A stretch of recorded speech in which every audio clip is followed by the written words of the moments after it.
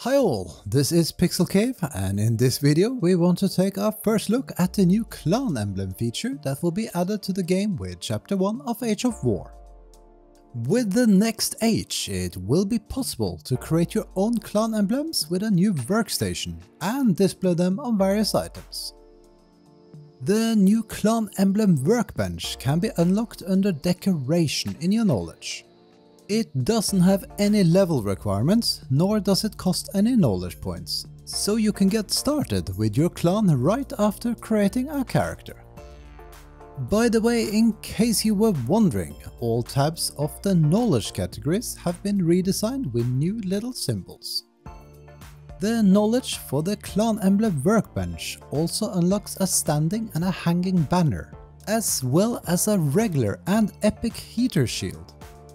These are all items that display the clan emblems when put up or worn. Before we take a closer look at the items, let's check out the new workbench. There is one requirement for using the new clan emblem feature and that is that you are a part of a clan. That means that even if you're playing solo, you still need to create a clan for yourself as to be able to use it. In fact, you won't even be able to place the workbench otherwise. Now let's assume that you are in a clan. The clan emblem workbench can be built with the construction hammer and is found in the new clan category under crafting stations.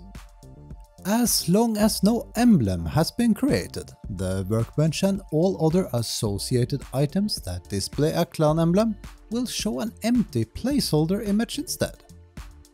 The bench itself looks quite nice and very different from what exists in game, so it doubles as yet another cool placeable for your base as well.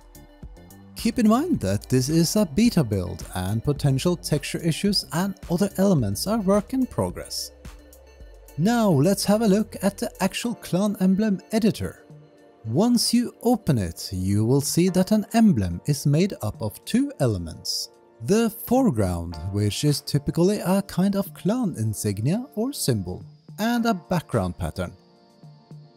Currently, at least in this preview version, there are 5 free foregrounds to choose from, as well as 7 that are locked.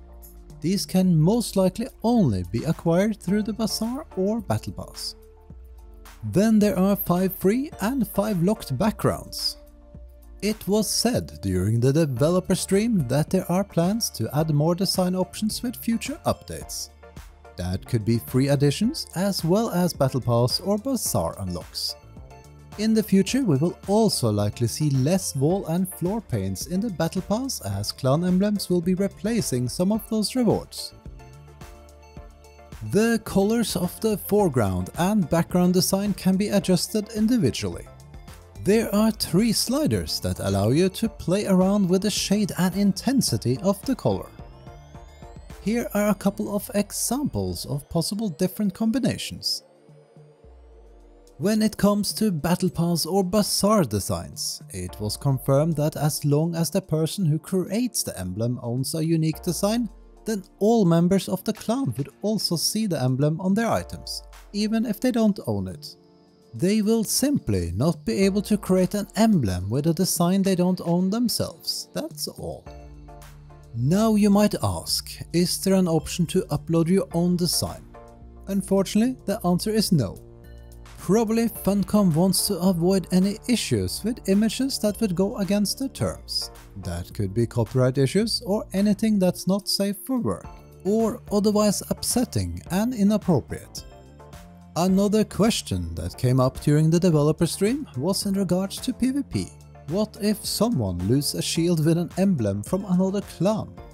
It was confirmed that the shield would simply display the looter's own clan emblem, or if they aren't in a clan, an empty placeholder. Unfortunately, there is no option to loot and display other clans' emblem items as trophies, at least not for now. We also try to use a shield with a created clan emblem in combination with the illusion system. And unfortunately it doesn't seem to work. The result will only display what's seemingly another placeholder. The same happens when we mount a shield on a shield display. We presume or hope that this is still a work in progress and that the illusion system, as well as shield displays, will work once the age launches. One last thing in relation to the emblem editor.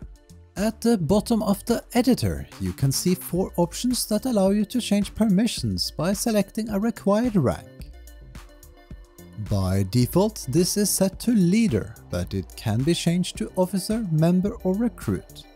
Giving for instance a member permission to edit does weirdly enough also allow them to change permissions, at least to the lower rank, which in our eyes makes no sense. We believe permissions should be restricted to editing of emblems, not the ability to change permissions as well. If anyone with permission to edit changes the clan emblem at any time, the emblems on all items currently in game will automatically display the new design.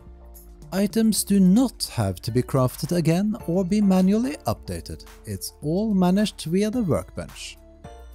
After changing an emblem, we also experienced that not all items were visually updated right away. In our case, leaving the render distance of the items and coming back fixed it.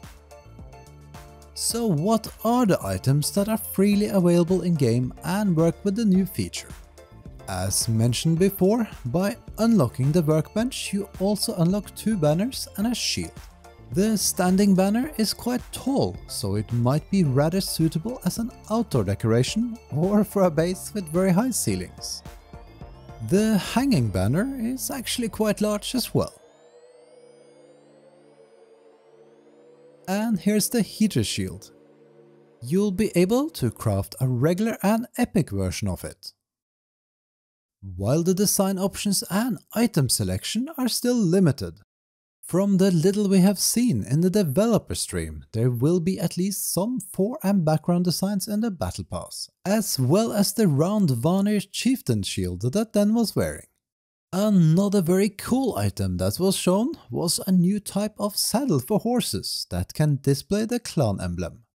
To be precise, this type of cloth covering for horses is called a caparison, and from what we could find in the admin panel, there will be three different types in game. An Arcane, Turanian and Midnight Caparison. The Arcane Caparison could be seen as one of the Battle Pass rewards, and we presume the other two are Bazaar items, as neither of them could be spawned. It would also be very cool to see some more items that could display clan emblems in the future. Like any other wearable armor, pet skins, signs, totems or smaller banners and similar. Time will tell, at least there's a lot more potential here. And that was all for this feature preview. We would love to hear from you in the comments and as always, please give us a thumbs up, subscribe and hit that bell.